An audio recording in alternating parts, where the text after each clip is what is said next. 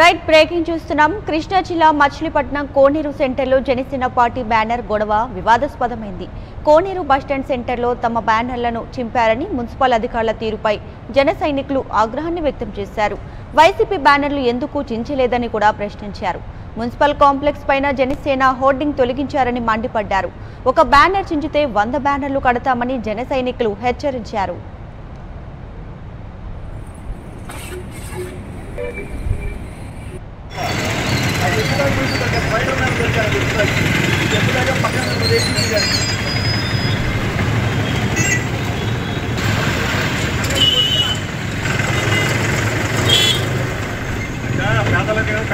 పేదలు కాపాడుతున్నారంట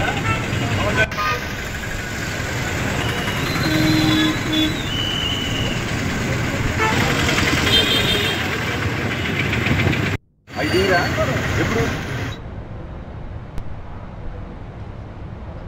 కృష్ణా జిల్లా మచిలీపట్నం కోనేరు సెంటర్లో జనసేన పార్టీ బ్యానర్ గొడవ వివాదాస్పదమైంది. దీనికి సంబంధించి పూర్తి వివరాలను సాంబశివరావు అందిస్తారు. ఫోన్లో సాంబశివరావు. Thank you Deepika.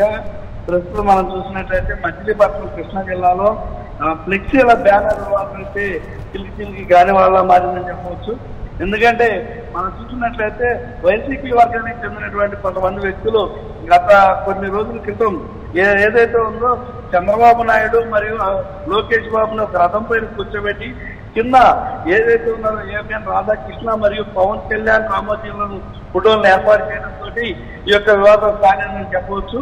ఈ ఫ్లెక్సీలను ఏర్పాటు చేసిన క్రమంలో ఇదే ఫ్లెక్సీలను చూసినటువంటి జనసేన కార్య కార్యకర్తలు అందరూ వేరే పెట్టేటువంటి ఫ్లెక్సీలను ఏర్పాటు చేయగా ఆ ఫ్లెక్సీలను ఏదైతే ఉందో ఆ ఫ్లెక్సీలు రేవతి సెంటర్లో కానివ్వండి బస్ స్టాండ్ సెంటర్లో కానివ్వండి అటు కోనే సెంటర్లో కానీ ఈ మూడు సెంటర్లోనే ఇతర ప్రాంతాల్లో కూడా ఈ ఫ్లెక్సీ బ్యానర్స్ ఏర్పాటు చేయడంతో ఏదైతే మున్సిపల్ శాఖ వారు ఉన్నారో ఈ జనసేన పార్టీ ఏర్పాటు చేసినటువంటి జనసేన పార్టీ సానుభూతులు ఏర్పాటు చేసినటువంటి ఫ్లెక్సీలను తీ- తీసేయడం తోటి అదే వాస్తవానికి దిగినటువంటి కొరియర్ సీన్ అనే పవన్ కళ్యాణ్ గతంలో వైసీపీలో ఉండి మన్ని ఈ మధ్యనే ఆయపా సభ సందర్భంగా వైసీపీకి రాజీనామా చేసి ఆ, జనసేనలో చేరినటువంటి కొరియర్ సీను ఈయన మచిలీపట్నం టౌన్ ప్రెసిడెంట్ చిరంజీవి సందర్శించుకుని ఉన్నారు ఆయన ఏర్పాటు ఈ ఫ్లెక్సీలన్నింటినీ కూడా ఏర్పాటు చేయడం తోటి ఈ ఫ్లెక్సీలన్నింటినీ తీసేసిన క్రమం ఆయన క్వశ్చన్ చేయడం కూడా జరిగింది.